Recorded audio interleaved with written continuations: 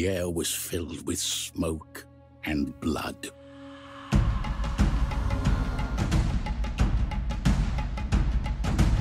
We all know how a total war campaign plays out, right? Start off with a province or two, build up your economy a bit, amass an army, and go off to war, starting with whatever poor sod has the misfortune of settling next to you and working your way out. It's a tried and tested formula, but it's one that we've seen played out a hundred times before, with factions that often essentially play the same apart from a few unit preferences and a buff or two. Total War Attila does things a bit differently, which is part of the reason why it's the most enjoyable entry in the franchise for some time. So, to choose your faction for the Grand Campaign, decisions, decisions. The roaming tribes of the Visigoths and Ostrogoths start without a home to call their own, forcing you to travel and loot your way across Europe and Asia in search of safe haven. Don't like the barren grasslands of the east? Well, I hear the Mediterranean is nice this time of year. Northern barbarians like the Saxons meanwhile rely on money raised by raiding and pillaging, encouraging an utter lack of concern for the niceties of diplomacy. The two Roman remnants in the east and west meanwhile must accept inevitable defeats on the outskirts of their territory and instead fight a defensive war to maintain their most tactically viable and valuable settlements. And yes, you can play as the big bad wolf. The Huns themselves are like a giant wrecking ball rolling across Europe. They can't maintain settlements, so towns and cities are only targets to be sacked and looted, not captured. Their structures are temporary huts and livestock pens, all ready to be taken down and packed up as the horde moves on to its next target. So in effect that's a good 3 or 4 entirely unique styles of play to be mastered in Attila, offering an impressive amount of depth and replay value and removing that sense of over-familiarity that had begun to undermine the series formula. Here, no two campaigns feel the same. Your ultimate goals don't change of course, this is still a game of world conquest after all, but being offered such distinct variations on how to get there makes a really big difference.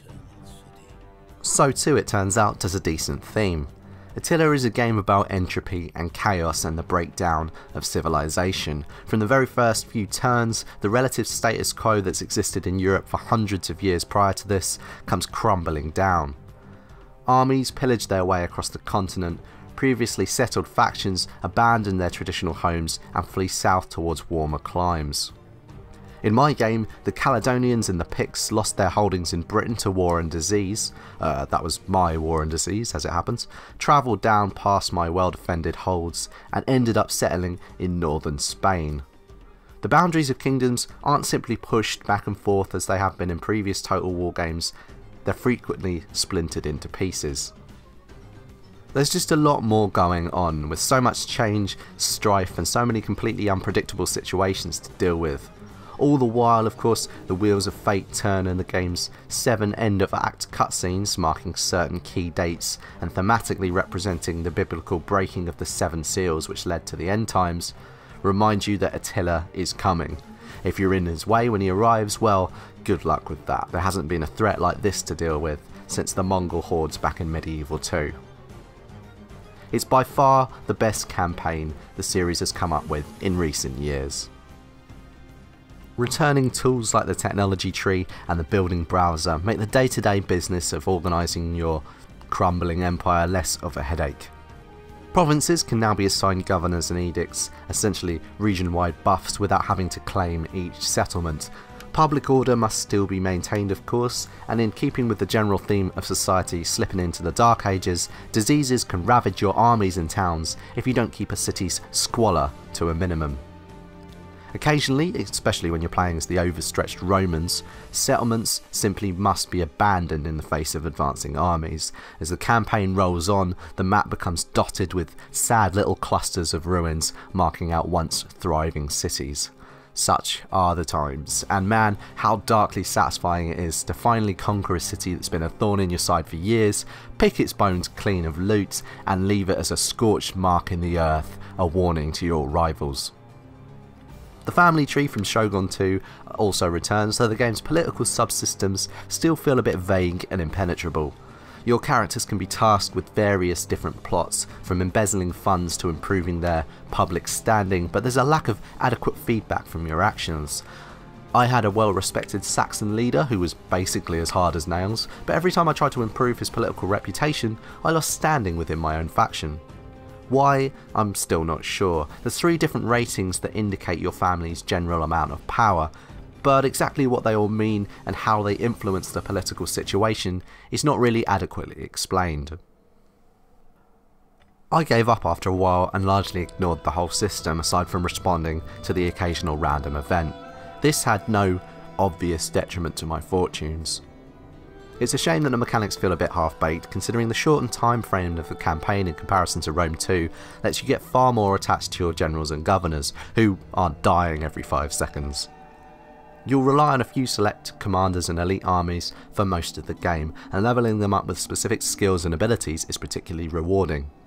Given that Creative Assembly had promised a revamped and improved political system, I'd hoped for a little Crusader King style deviousness, but it all feels a bit disappointingly stale. There are definitely improvements on the battlefield, even if a few irritating quirks of the engine remain unsolved. Enemy units are still a bit too happy to sit there under a withering hail of arrows, and are still a little bit too easy to distract with cavalry feints. Barbarian enemies have an annoying habit of packing their armies with unit upon unit of trained war dogs, which leads to admittedly comical but rather ridiculous battles that look like some horrible out of control version of Crufts. These are all relatively minor annoyances though, and in general the AI has been massively improved since the dark days of Rome 2's launch. Here I had tense sieges that I lost after battling my way deep into the enemy fortifications and knocked down drag out fights which turned on the loss of an enemy general. On the campaign map I was outmaneuvered and outsmarted more than once by sneaky, flanking forces and unexpected assaults. It's not perfect but it is a damn sight better than I expected.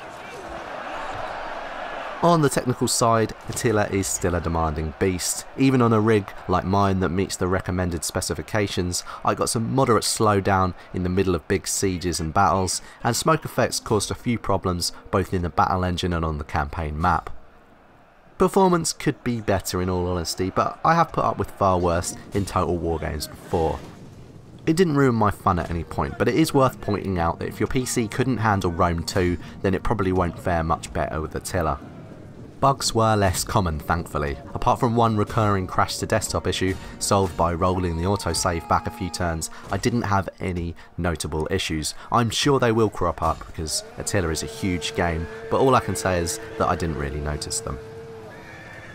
Attila doesn't manage to fix every lingering issue with Rome 2 engine, but it does provide a far more interesting, focused and thematically interesting playpen in which to plan your world domination. We have been here before, just as Shogun 2's narrower focus and elegant simplicity carved away the bloated excess of Empire Total War, Attila's shorter time frame and smart streamlining of the more unwieldy aspects of its predecessor makes for a leaner, tougher challenge.